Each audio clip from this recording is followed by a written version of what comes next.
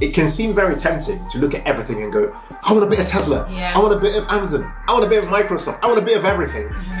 You want to be careful. Not every single company will make it through this season of, you know, a huge recession as expected down the line. Hey guys, so major stock markets are crashing significantly at the time of making this video, driven by high inflation. That high inflation is connected to uncertainty around life post-pandemic, among many other things. The other key factor, interest rates rising rapidly. We're seeing rates rising in the US, in the UK, across Europe. There are significant rate rises happening at the moment and more rate rises is expected in the very near future. Everyone from the Fed to the Bank of England to the Swiss authorities have increased rates recently and all roads point to recessions down the road. In fact, as the time of making this video, we've seen the S&P 500 fall by 23.39% from its all-time high earlier this year in January, introducing what's become officially known as a bear market. That's right. And today we want to talk to you about what all of that means mm-hmm. and what you should be doing as an investor. If you're new to this channel, I'm Mary I'm Ken. of the Humble Penny and Financial Joy Academy. And what we do on this channel is to help you take control, grow your money, and work towards a dream life of financial independence and money joy. All right, guys, let's dive straight in. Okay, so as Ken mentioned previously, stock markets continue to fall. And whether you're looking at the UK, US, Europe, or globally, there is generally a downwards trend. This is causing a huge panic with mm-hmm. people asking themselves questions like, should I be selling everything I own? Mm-hmm. Before we get into all of that, let's just get through some definitions. Cool. So, what is a bear market? I'm going to put this up on the screen for you to see. According to Investopedia, a bear market is when a market experiences prolonged price declines. It typically describes a condition in which security prices fall 20% or more from recent highs amid widespread pessimism and negative investor sentiment. From an, the all-time high in January 2022, you can see up on the chart on the screen, the S&P 500 has fallen 23.39% so far. And we're using the S&P 500 for the purposes of this video because it's uh, a super popular index and many people who watch our channel obviously invest their money uh, in the US equities market. And it's usually a good indicator for what's happening more generally when it comes to the stock market. But looking at that, you know, you can see that big drop uh, of the S&P 500, which is you know, quite quite astonishing when you think about it. You know, a lot of this obviously tied to uh, a lot of fear we mentioned earlier.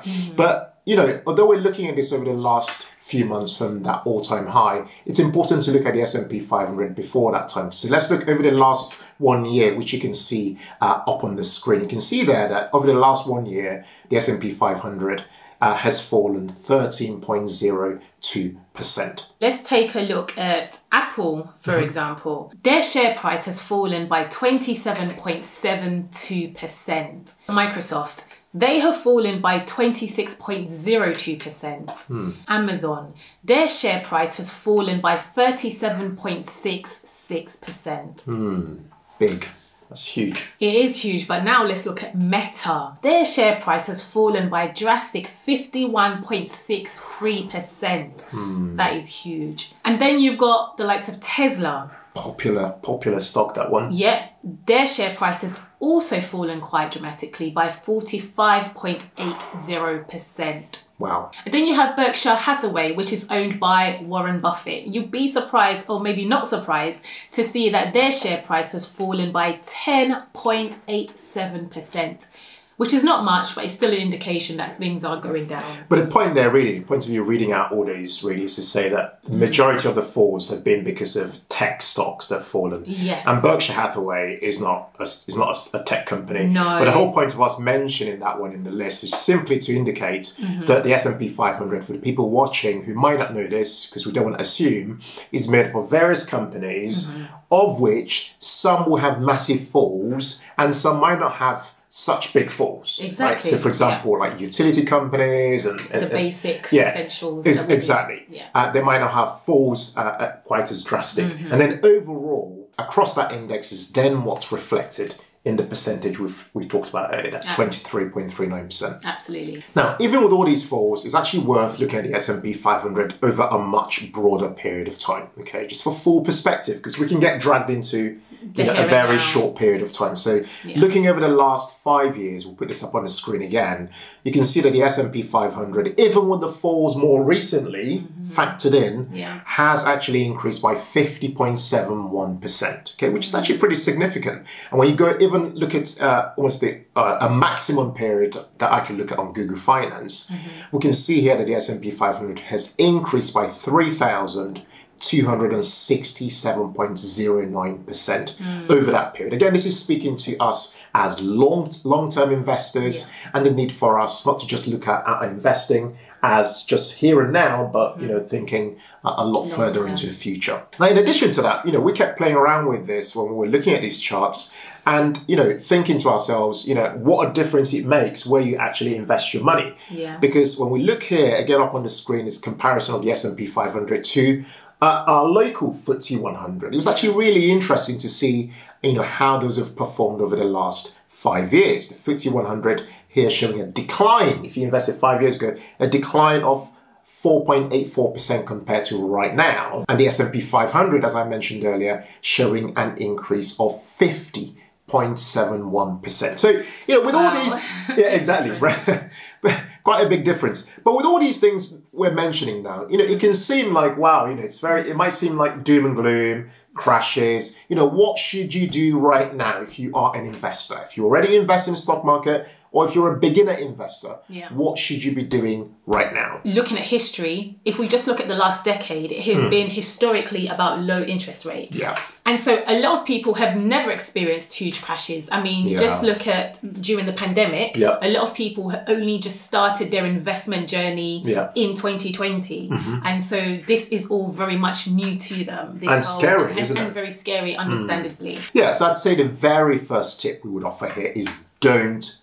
panic. And we know this is easier said than done. Yeah, because you're looking at your phone, you're looking at your app, possibly every day or every week, and mm. you're seeing your investments completely decline in value. The thing to note is that those losses are not real losses yet. Mm. They only become real losses as soon as you hit that sell button and crystallize that sell. That's when you actually recognize that loss. So for the minute, they are uh, almost think of them as pending losses that haven't happened. And obviously, the stock market could, over time, change and could begin to work again in your favor. So, in the interest of your mental health and your well being, please stop checking your phone every single week. Literally, like put your phone away. You might even go and delete the app yeah. of your inve- your investing app from your phone. Literally, just delete it. Yeah. So that way you can spend your time doing something much more worthwhile mm-hmm. that might even make you some extra money for you to make further investments in the future.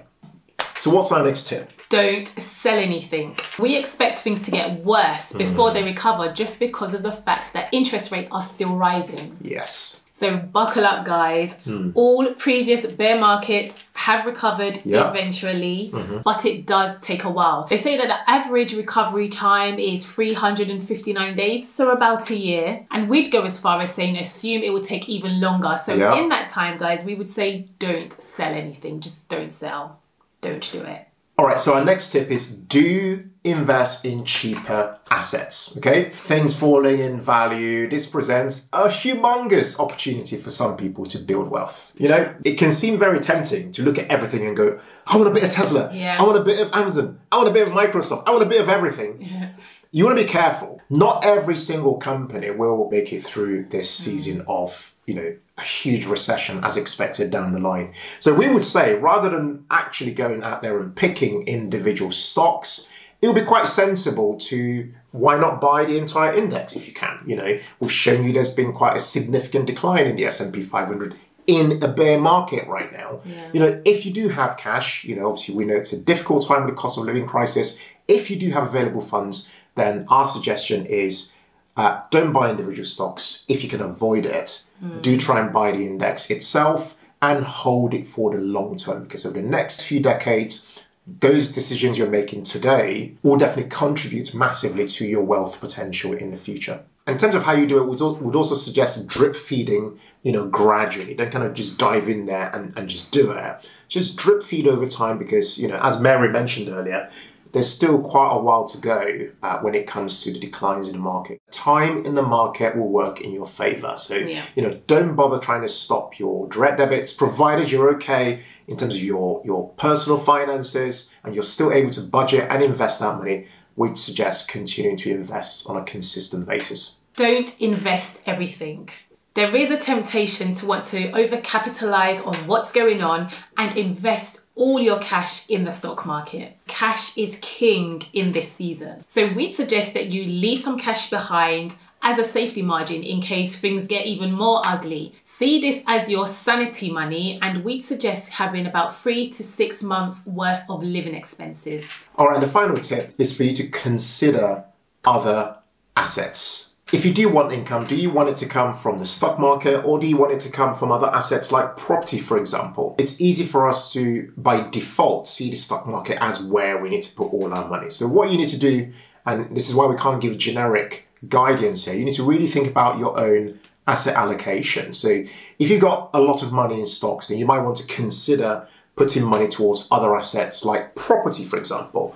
Uh, but even with putting money into property, you need to be really, really careful as well because, you know, we're going into a season of a recession down the line, interest rates are going up, and obviously investing in property is all to do with having a hybrid of debt and equity. So if you're borrowing money for your property, chances are mortgages obviously are going up in, in cost of borrowing, which means you need to also think of the business case for investing in property and so on.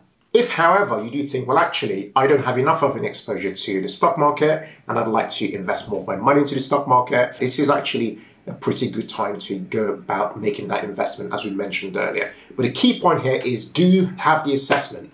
Pause for a moment. Don't be in a rush. Really pause for a moment and ask yourself, what do I want my money doing for me in the future? Mm. And what decision should I make today in order to be able to achieve that outcome. So, guys, we'd love to hear from you. Are you investing in the stock market for the long term as markets fall, or are you holding off and not investing your money at mm. all? Let us know in the comments. We'd love to jump in there and have a conversation. And guys, if you made it to the end, would absolutely love if you show us support, hit the like button, share this with somebody who you think will enjoy this video, and also subscribe to our channel if you haven't done so already. Thanks so much for watching, guys. And as ever, in, in all things, be thankful and seek joy. Take, Take care, care, guys. Bye. Bye.